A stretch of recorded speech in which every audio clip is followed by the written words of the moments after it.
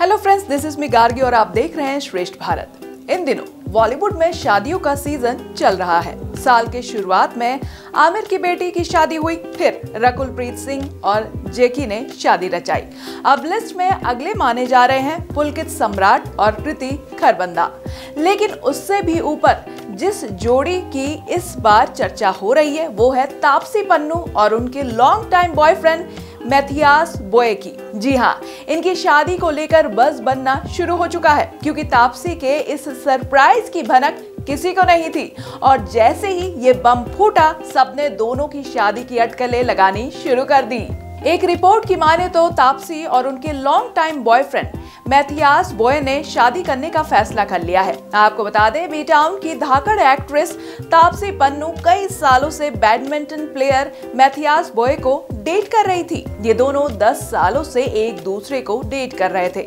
Matthias boy Denmark के रहने वाले हैं और बतौर बैडमिंटन खिलाड़ी वो ओलंपिक मेडलिस्ट और यूरोपियन चैंपियन है। लेकिन साल 2020 में उन्होंने खेल से संन्यास ले लिया था।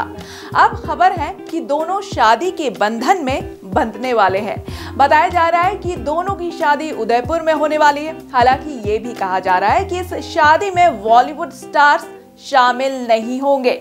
वैसे दोनों की शादी अगले महीने मार्च में होने वाली है। कहा जा रहा है कि दोनों सिख और ईसाई धर्म के रीति रिवाज से शादी करेंगे। हालाँकि इस बारे में अभी तक तापसी और उनके बॉयफ्रेंड मैथियास में से किसी की तरफ़ से कोई कंफर्मेशन नहीं आई है।